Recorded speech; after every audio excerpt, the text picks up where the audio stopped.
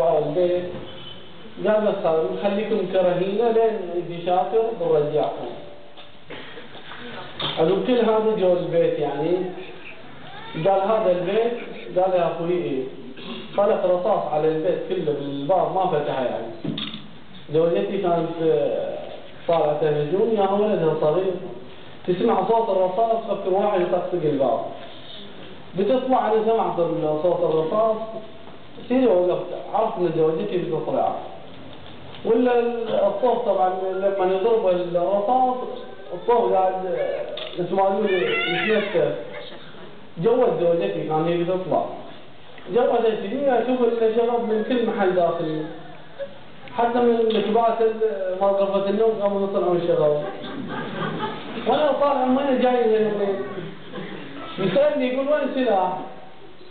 سلاح داخل بيتي عند وين سلاح؟ مشكلة كان زوجتي تشتغل بوزارة الداخلية.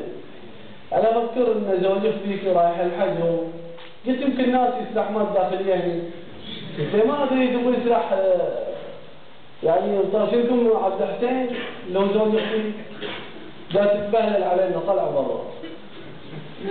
ولا ما طبعا مو خايف مو أي شيء. طلعت برا أخوي عمره 39 سنة. اعرف أخوي اسمر أنا لقيت أخوي حلو أحمر. وش اللي قلب ألوان كذي قام يسبني واحد من الشرطه هناك فرديت عليه. فكرت فيهم يتعاملون يعني نفس العام. جاي الساعة حسن فكر ظهري قوي السنة العام صار الضرب يعني ما أدري بأي شيء. توني راكب السيارة. جا واحد هذا الضابط اللي كان اللي عام يهددني جاي اللي يقول جيب السيارة اللي عنده. ربع ساعة ما أدري بقى أشوف رجالي وايادي كل محل تضرب ركبوني السيارة. إيه. فودوني تحقيقات هنا.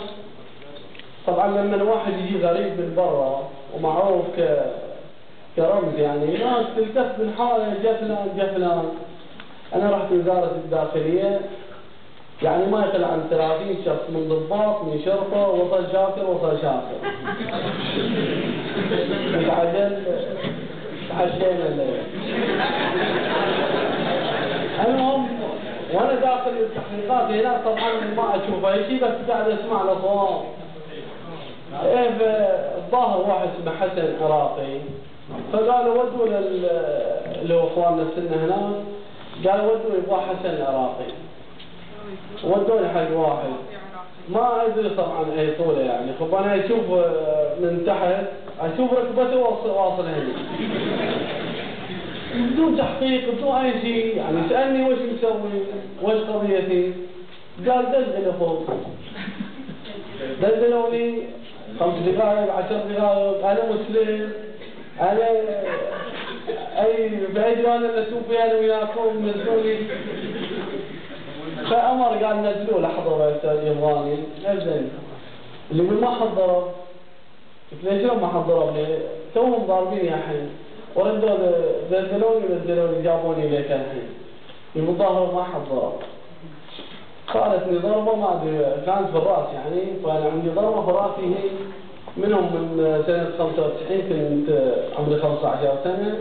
ضربني بالسلاح فصارت ضربه كنت ما ادري باي شيء وسعيت اللي أنا مدلدل يعني واقف بس بحيث انه ما يقعد اللي هو أمر من الضابط لازم توقيفي يومين اكون يومين واقف عقب اليومين هذه طبعا برا في الجو بارد يعني حتى لازم في ماء اذكر والله الحمام بخاف أقول له تشرب ماء. أقول له بس ندش الحمام نشرب ماء من الحمام العطش اللي أخذنا من الخوف. فندش على الله الحمام؟